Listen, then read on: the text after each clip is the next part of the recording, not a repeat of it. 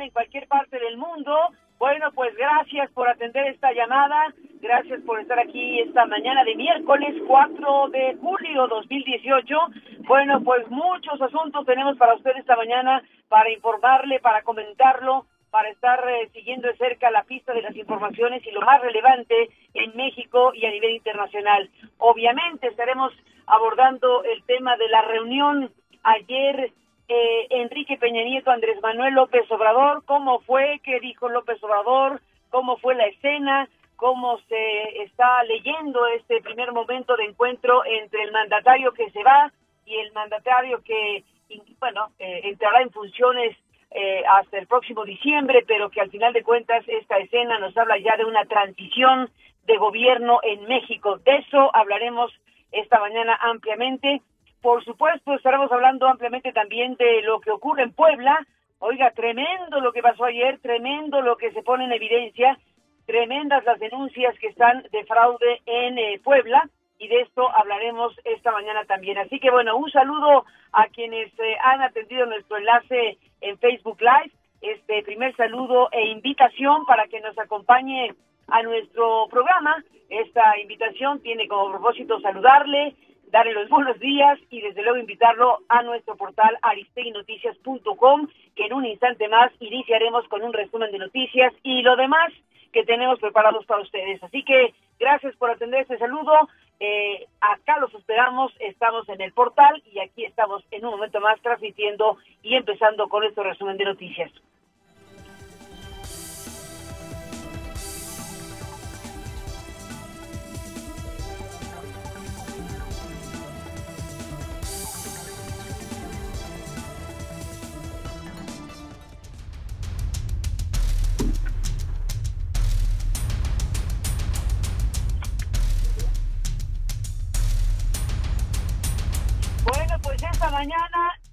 Mañana iniciamos, esta mañana iniciamos eh, con este fragmento a reserva de presentarle más adelante una recopilación más amplia, este fragmento de lo que dijo ayer Andrés Manuel López Obrador en este inicio de transición, una transición ordenada, es la palabra que se ha utilizado, una transición ordenada eh, para efectos del cambio de gobierno. Y bueno, se reunió ayer en Palacio Nacional Peña Nieto con López Obrador para hablar de los eh, ejes principales en materia de transición de un paso de gobierno al otro. Y bueno, lo que viene en México está pues a la vista. Y llegamos a la conclusión, la propuesta del presidente Peña, de iniciar el proceso de transición una vez que el Tribunal Electoral emita el fallo y me eh, nombre presidente electo. En tanto no eh, exista este reconocimiento legal, no podríamos establecer una relación institucional como se desea. Vamos a ser respetuosos de las formas, porque la forma es fondo.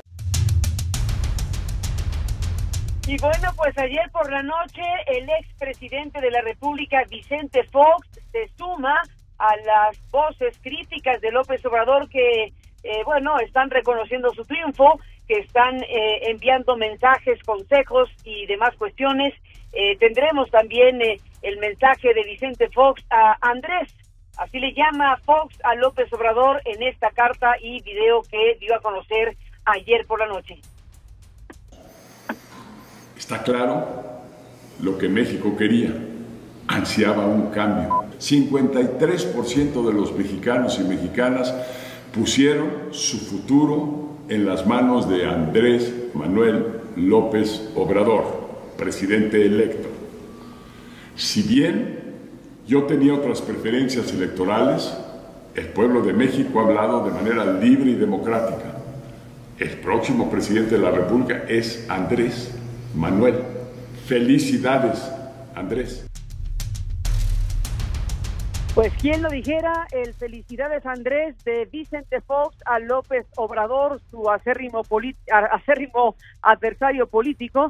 Bueno, en este contexto, eh, está enviando este mensaje, un fragmento de él, y más adelante le contaremos más de lo que dice el expresidente. Está el gobernador de Chihuahua, Javier Corral, que también envía este mensaje a López Obrador. Y esperemos que el nuevo gobierno federal le quite la protección que hoy tiene César Duarte, la protección que le ha brindado Peña Nieto y la actual Procuraduría General de la República. Y también esperamos del nuevo gobierno un mejor trato en recursos eh, federales para Chihuahua.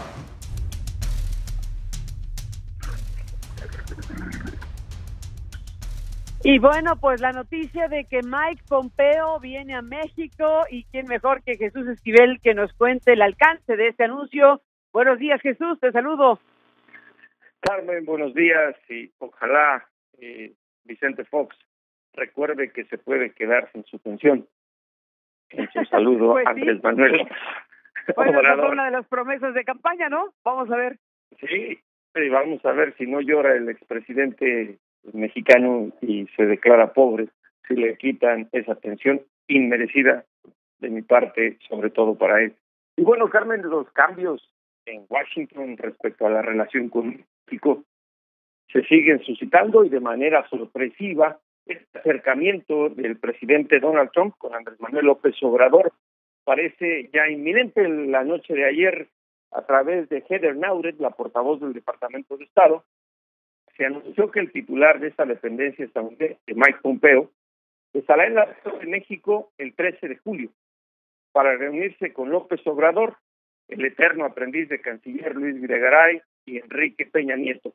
Pero Carmen, te voy a leer lo que dice el comunicado y creo que es ahí donde se entiende que Donald Trump ya dio por fin y terminada la relación con el gobierno de Enrique Peña Nieto. Dice que el secretario hablará sobre la continua cooperación entre Estados Unidos y México con la administración de Peña Nieto a través de la transición. A través de la transición, repito, Carmen, Estados Unidos espera trabajar de manera cercana con el presidente electo López Obrador para continuar fortaleciendo la relación Estados Unidos-México después de que la nueva administración tome el cargo el primero de diciembre. Y bueno, entre los temas a trabajar el Departamento de Estado dice que Pompeo pues eh, va a discutir el tema del combate al crimen transnacional y la epidemia del consumo de opiáceos en Estados Unidos, los esfuerzos para aumentar el comercio, frenar la migración irregular y administrar la frontera compartida. No olvidemos que además de pitonizo, Donald Trump dijo que ya habló con López Obrador de un acuerdo bilateral de comercio, Carmen, y pues creo que la presencia de Pompeo en nuestro país el 13 de julio será interesante, sobre todo porque se sabe también, y no lo dice el comunicado, que Pompeo va con una invitación a Andrés Manuel López Obrador para que visite Washington o cualquier otro punto de los Estados Unidos y reunirse con Trump como presidente electo. Se habla a su vez también el secretario de Estado de este gobierno, eh, pues lleva una serie de nombres para discutir con López Obrador respecto a quién podría ser el embajador de Estados Unidos en nuestro país, tomando en cuenta que, bueno, ya se había hablado de un empresario, Ed Whitaker, a quien el eterno aprendiz de canciller se apresuró a darle el beneplácito desde marzo, y que estaba contemplado para ajustarse a un gobierno peñanietista, no con el de López Obrador. De ahí que desde que se diera a conocer el beneplácito apresurado del eterno aprendiz de canciller al empresario, Donald Trump se resistió a enviar este nombre al Senado del Congreso Federal de su país para que fuera ratificado. Vamos a ver qué ocurre en esta reunión. Yo insisto, Carmen, hay que tomarse con un granito de sal este coqueteo de Donald Trump, porque conforme se acerquen las elecciones federales de noviembre, México volverá a ser su piñata favorita por cuestiones político-electorales y los mexicanos seremos víctimas de otros ataques. Pues eh, todo eso es lo que estaremos viendo. Veremos qué es, eh, cómo es el tipo de relación entre Trump y López Obrador. Por lo pronto es terzo, el primer acercamiento. Vamos a ver el encuentro con Pompeo y todo lo que nos has contado esta mañana. Y bueno, lo que viene desde luego es un tema eh, crucial y fundamental para el propio López Obrador, cómo va a ser su postura. Él en diferentes momentos de la campaña electoral, recordarás Jesús Esquivel, bueno, dijo que que bueno, no quería confrontaciones y que le haría entender, eh, apela al entendimiento López Obrador a Donald Trump de la postura de México. Sí, y bueno, creo que debe ser bastante pragmático el presidente electo de México en donarse. Ya lo conocemos, Carmen, eh, cómo se les dice, cambia de posición, irascible que es que también pues comparte ese carácter con el presidente electo de nuestro país. Y cómo pues como publirelacionista eh, y experto pues le encanta ir en contracorriente de muchas políticas de su partido el republicano.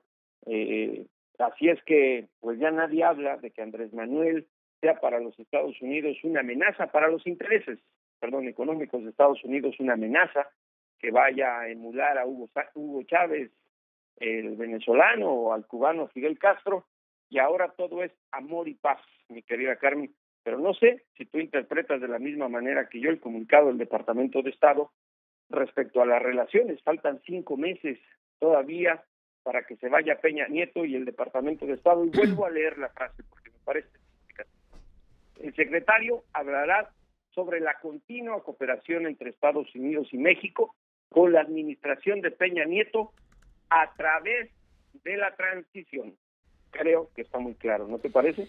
Pues ahí estamos, sí, hay un hecho de facto, hay una, hay una situación de facto, quiero decir, donde López Obrador desde luego eh, toma la centralidad de la atención pública, aunque también hay que decir que ha insistido en estas últimas horas en el tema de que respeta la autoridad eh, actual y eh, tiene, tiene su interpretación también el hecho de que haya anunciado una nueva gira por toda la República eh, esta idea de que en tanto Peña cierra su mandato ordenadamente y entrega en los tiempos legales el gobierno de la República, que será hasta diciembre, bueno, pues eh, en tanto eso ocurre, pues López Obrador va de regreso a el trote, ¿no? Va a hacer un recorrido por la República, según anunciado, y se entiende que es una manera de que Peña Nieto concluya su gestión gubernamental pero lo que es un hecho, pues es que ya la, em, la em, eh, eh, situación eh, real es que la centralidad total la tiene López Obrador. Sí, y creo que corresponde al espíritu democrático de nuestro país que Andrés Manuel López Obrador se maneja así.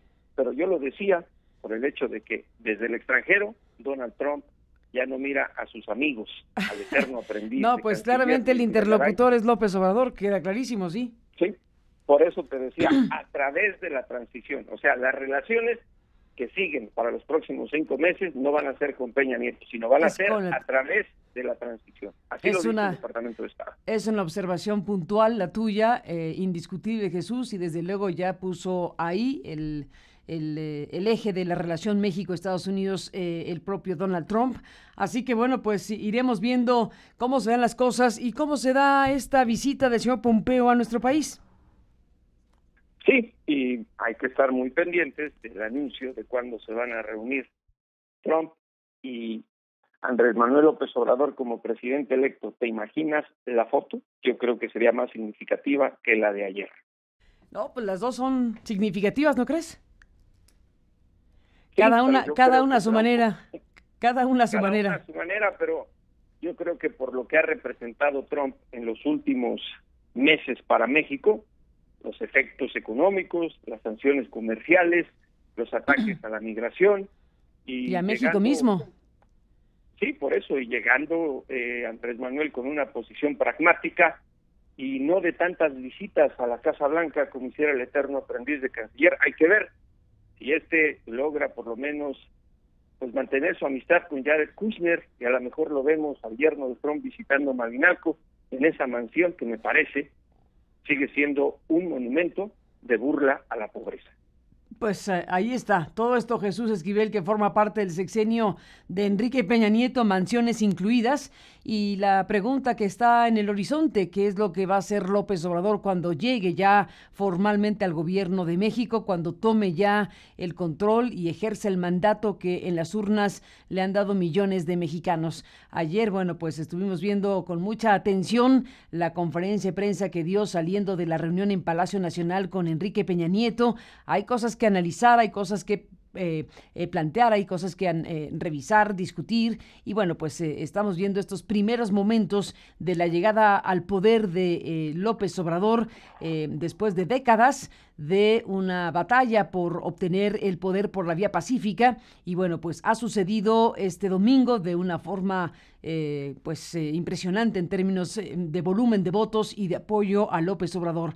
Ahora lo que estamos viendo son estos primeros pasos. Esto que se entiende está mandando señales de transición de terciopelo para no asustar a los mercados, para no parar los pelos de punta, para no generar expectativas de riesgo. Y bueno, pues va en ese sentido eh, haciendo cosas como las de ayer, donde fue pues eso, muy terso el encuentro, eh, muy amistoso. Algunos incluso podríamos eh, sorprendernos de eh, el gesto, el guiño que reitera López Obrador a Peña Nieto sobre el tema de que este presidente, en pocas palabras, se portó bien en el tema electoral, cosa que, bueno, habríamos de discutir, habríamos de discutir si Peña Nieto tuvo o no que ver con todo lo que ocurrió y que fue documentado eh, por diferentes organizaciones eh, ciudadanas en términos de la intervención electoral, la compra, coacción del voto, las despensas, los 20 millones de pesos que se encontraron en una camioneta aquí en la Ciudad de México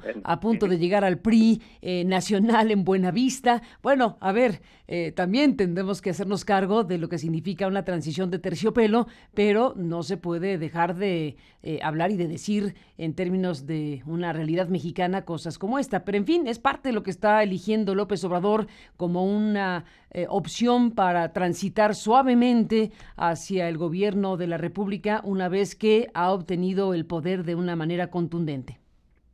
Un último apunte, Carmen, mira los contrastes. Cuando Pompeo asumió el puesto de secretario de Estado, el primero que corrió a Washington para verlo fue el eterno aprendiz de canciller, Luis Videgaray. Cuando empezó la presidencia Trump, habló incluso de enviar a gente a México para combatir los problemas como el crimen organizado, porque veía, veía incapaz al gobierno de Peña Nieto de hacerlo. Ahora manda a su hombre de confianza a México a reunirse con Andrés Manuel López Obrador antes de que ésta venga a Estados Unidos y ofrecerle una invitación para hacerlo. Y no está enviando a nadie para ayudar a México, al contrario, vaticina una buena relación y está dispuesto a cooperar. Algo que, insisto, hay que tomárselo con un granito de sal. Pues ahí está, el granito de sal que dejas, Jesús Esquivel, como siempre, muchísimas gracias por estar aquí para informarlo y para comentarlo esta mañana. Gracias, eh, Jesús, un abrazo y seguimos al habla. Carmen, buenos días. Buenos días a Jesús Esquivel, colega corresponsal de la revista Proceso y esta presencia fundamental en este espacio de noticias en vivo. Son las 8.26 en el tiempo el centro de la República Mexicana. Está el comunicado que emitió la Cancillería mexicana diciendo que el objetivo de la reunión con Pompeo, eh, el secretario de Estado de los Estados Unidos, Michael Pompeo, a México, el objetivo es trabajar en temas de la relación bilateral en sus diferentes aspectos, incluyendo migratorio, comercial, seguridad y cooperación para el desarrollo. Y habla de esta visita próxima para el 13 de julio, que va a estar en la Ciudad de México, Pompeo, donde se reunirá con el presidente Enrique Peña Nieto, con Videgaray y con el ganador de las elecciones presidenciales, Andrés Manuel López Obrador. El objetivo de la reunión es trabajar en temas de la relación bilateral en sus diferentes aspectos, incluyendo el migratorio, comercial, seguridad y cooperación para el desarrollo, es lo que se destaca en este brevísimo comunicado eh, de prensa.